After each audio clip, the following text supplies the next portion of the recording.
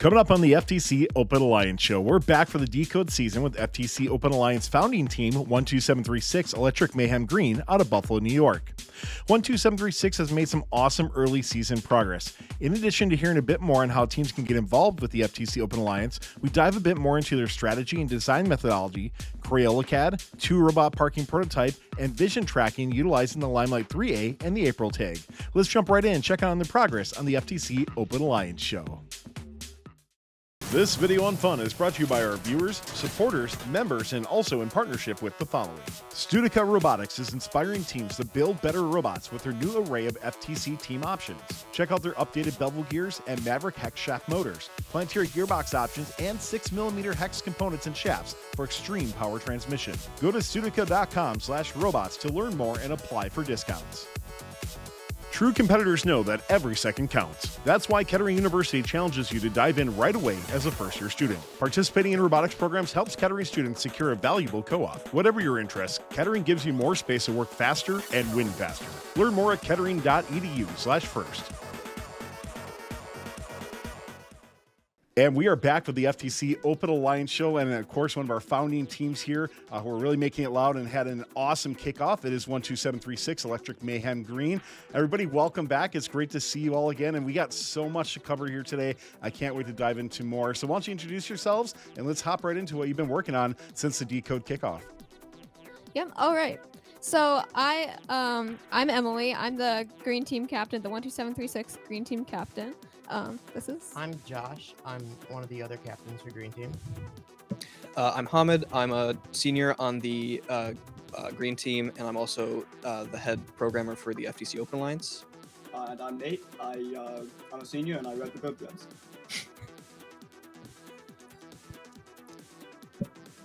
Oh, should I start? All right, cool. So yeah, so the first thing we're going to talk about is the FTC Open Alliance. So as I mentioned, I'm the um, lead developer for the FTC Open Alliance. Um, it's something that me and Nate started uh, for last season. So this is our second year of running the FTC Open Alliance. And essentially, what it is, if if you're familiar with the um, the Open Alliance, which is the FRC version, it's pretty similar in terms of we share the ideal of um, teams being able to share what they're doing with their robot, their designs, all that stuff, um, and being able to like learn from each other, really embodying um, cooperation, gracious professionalism. So we wanted to bring that to FTC. So we made the FTC Open Alliance, which you can get to at ftcopenalliance.org. Um, so this year we've actually got quite a few teams already on the roster. We've got, what was it, 12 teams? This is uh, 11, 11 teams. Yeah. So each of these teams has, you know, their own page. Like we can go to ours, where we list out all of our details for the robot that we're building, what kind of like parts we're using, and stuff like that. Um, and then we also have a whole bunch of links to go to like a build thread on Chief Delphi to share our CAD, our code base, photos, videos, and a website. All of this stuff uh, can be shared by any team who wants to join, and it's available for our, for all teams uh, to come and view. All of this data is made public. Um, so if you are a team who's looking to um, maybe you know do more outreach or you know try and get more into the community, a great way to do that is through the FTC Open Alliance, and you can register at ftcopenalliance.org/join. But if you're a team that just wants some inspiration or you want to see what other teams are doing, you can access the FTC Open Alliance at any time um, and read through the build threads, look at other stuff, look at CAD links. Uh, it's all open. So, Hamid, what is a team like? What are kind of the requirements of a team if they want to be part of Open Alliance? Like, do they have to post so often or anything like that? Or what are kind of just some of the basics if they want to get involved in this? So, I mean, all we really ask is that teams stick to the fundamental goals of the FTC Open Alliance. We don't want teams to be, you know, keeping secrets or, you know, saying information for, you know, to bring down other teams. We want everything to be collaborative. We want everything to be open. You know, that's the namesake of the program. Um, and, you know, part of that is obviously just, you know, sharing out what you want um, about your team and also, you know, keeping up with developments in your team. So I think one of the strongest things that we suggest is that if you're a, team, you make uh, a build thread and you update it regularly with news um, about your team throughout the season. Well, the Decode Challenge was just uh, released this past weekend. Hopefully, you guys are excited for it. Um, and so, give me a little bit about your first impressions for it, and let's jump into how your team approached uh, kickoff and some of the methodology behind it. So this year we took a uh, slightly different approach to um, uh, kickoff than we uh, usually do. uh, we've been working with a uh, creativity consultant. He's a um, he's a parent uh, of a member of one of the members on our team, uh, and he's helping us uh, get more creative when we're coming uh, into the problem-solving aspect of kickoff. Uh, and we're really trying to focus on um, divergent and convergent thinking. Um, divergent thinking being um, you try to get as many ideas down on paper as you can, uh, even if it's the most like outlandish idea that you think would never work. You want to write it down, uh, and you want to delay your judgment when it comes to those sorts of ideas, because that uh, those sorts of ideas can often lead to um, interesting uh, trains of thought, which could lead to um, a lot of more interesting ideas and stuff like that. Uh, after you diverge, uh, you want to converge. Uh, pick one of those ideas and um, really narrow in. Um, so the way we did this at kickoff was we listed all of the questions we had about the game uh, and all the aspects of the game that we could form a question around, like how do we pick up an artifact? Uh, is a slingshot shooter viable, or do we want to do kind of like a baseball pitching machine shooter, stuff like that? Uh, and then we split up into groups, and we each uh, picked one of those um, questions, uh, and we uh, tr- tried to think of as many um, solutions and uh, answers to those questions as possible. So, like my group, we really focused in on how to do the end game park. Uh, and we came up with a lot of ideas like getting robots on top of robots, um, trying to get robots to wheelie so that you're only supported by that park tile, and stuff like that. And I came out of kickoff thinking that I had a uh, much firmer grasp on the game, and I had a lot more ideas going into a robot in 30 hours challenge um, when it came to uh, how to solve this year's challenge.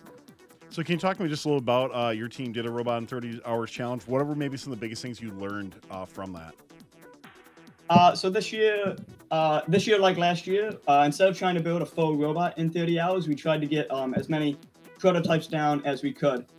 Um, we focused really early on on um, shooting and um, being able to uh, auto aim and move while we shoot, uh, along with having a super fast uh, touch it own it intake for the artifacts. And that kind of led us to main Crayola CAD, uh, which was the main thing that we got out of um, 30, uh, 30 hours challenge.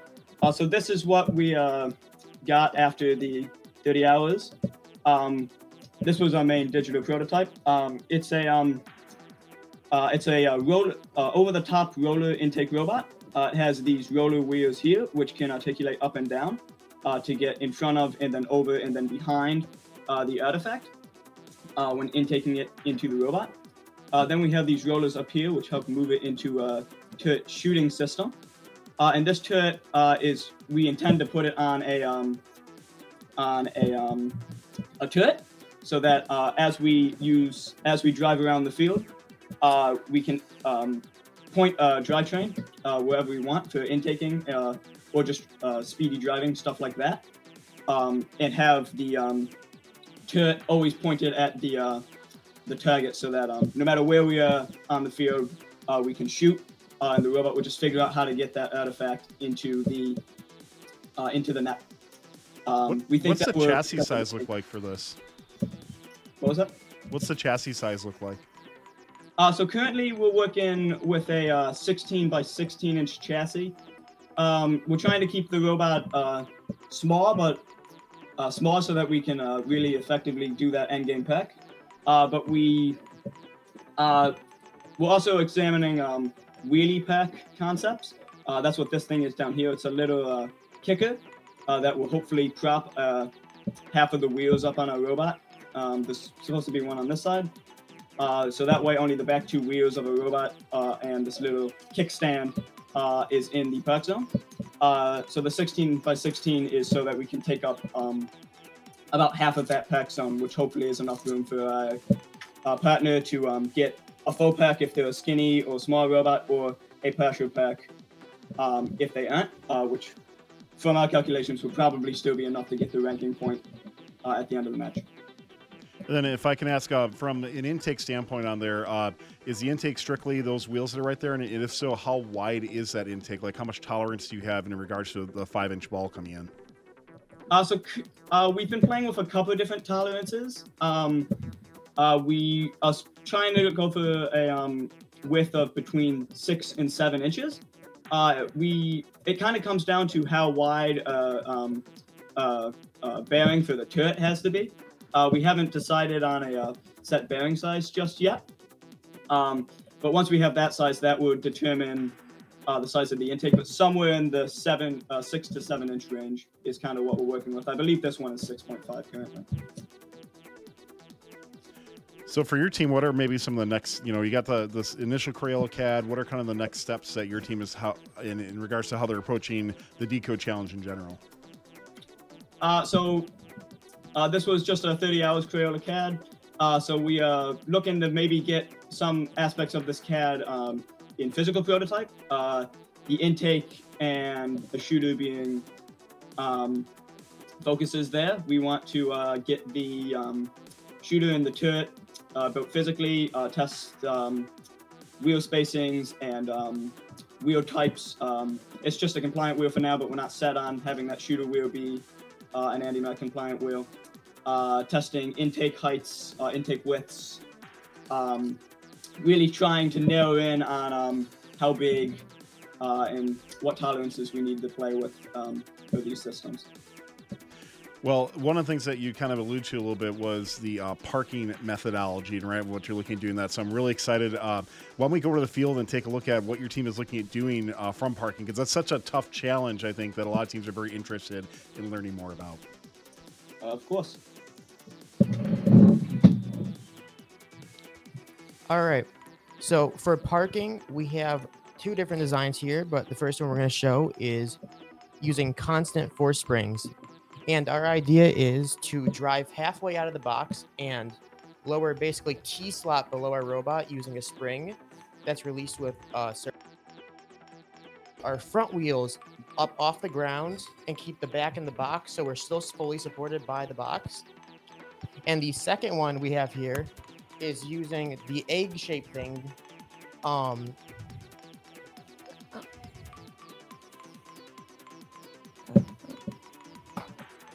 Okay.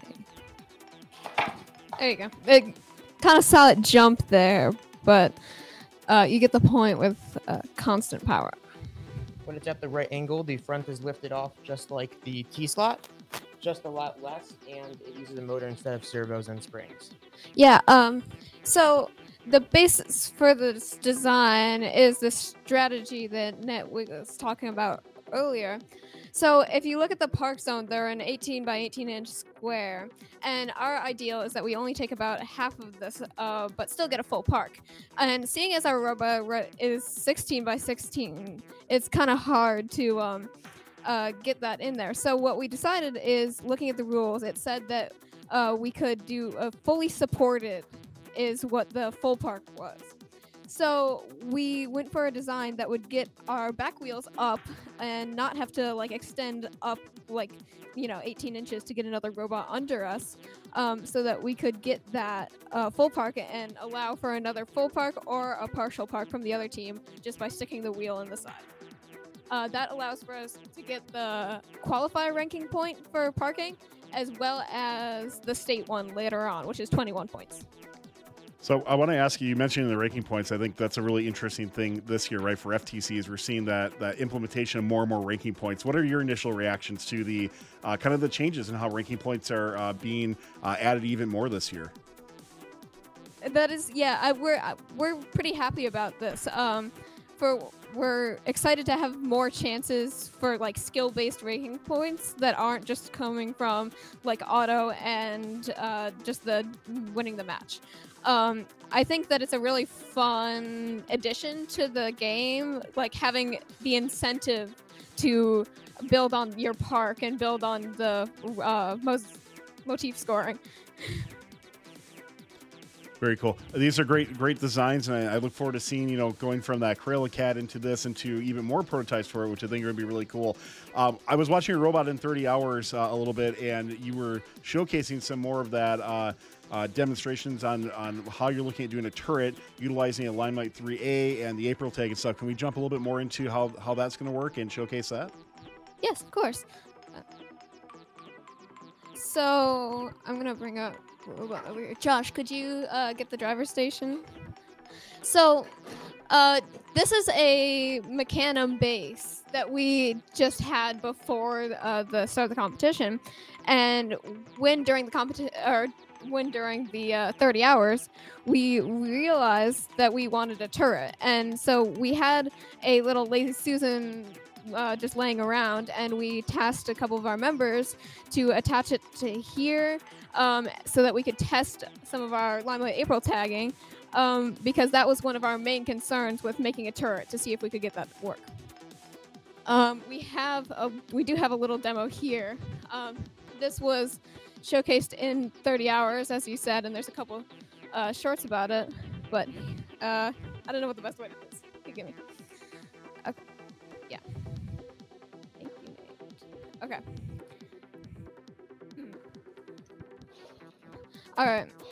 So Nate's gonna just angle this at the April tag, um, and you can see if you just yeah, as it's turning, you can see the turret there turning with uh, the limelight, and it's orienting itself. Um, obviously, this is like this was done in a, a just the 30 hours challenge, and we plan on uh, building on the functionality of this. Um, but you can see uh, as he as he turns there, it's uh, reorienting itself to look back at it. Um, and we plan to use this so that we can go intake and easily reorient our shooter uh, to be able to shoot in there as quick as possible. Um, we're really proud of getting this working uh, so uh, so fast into the season because this will be a major help for getting our uh, cycle time quicker later in the season. Well, Electric Mayhem Green, this is a fantastic start. I think your team is off to. Um, before we let you go on this, anything else that you want to uh, highlight or talk about, or, or, maybe any other future next steps uh, that you're looking at accomplishing very soon? Um, uh, I'm not sure. So a lot, I think a lot of our next design steps that I've been thinking about is how we're gonna get the actual shooter itself to work. I don't know if Josh, you want to talk about that. But um, I'm really excited. I was a little bit skeptical, uh, skeptical personally about the idea of having the spinning turret on the always spinning robot, but um, I was convinced, and I'm really excited to see how our team figures out how to get that to work, feeding through the center there. Thank you, Nick. Uh, Josh, I don't know if you want to make any remarks about your next shooter plans. Um, you can also check on what we were doing with the shooter in our 30 hour stream. We have a bit of tests. I believe there's a YouTube short about it uh, where we showcase just a test um, on the tolerances of shooting these blocks into here. Yeah, and you can find them under Electric Mayhem Robotics on YouTube. So make sure you do check that out as well. We showed one of the shorts on screen just a little bit ago, too. So, Electric Mayhem, thank you so much for taking the time to tell us more about this and wish you best luck the rest of the way. Make sure you are following their uh, FTC Open Alliance blog uh, that you'll be able to find both on Chief Delphi and on the uh, FTC Open Alliance uh, website as well, too, at ftcopenalliance.org. Thanks a lot. Thank you. Thank you. Thanks for watching. Don't forget to like, subscribe, and click the bell to stay up to date on future fun videos. True competitors know that every second counts. That's why Kettering University challenges you to dive in right away as a first year student. Participating in robotics programs helps Kettering students secure a valuable co op. Whatever your interest, Kettering gives you more space to work faster and win faster. Learn more at kettering.edu/slash first. Studica Robotics is inspiring teams to build better robots with their new array of FTC team options. Check out their updated bevel gears and Maverick hex shaft motors, Planetary gearbox options, and 6mm hex components and shafts for extreme power transmission. Go to studica.com slash robots to learn more and apply for discounts.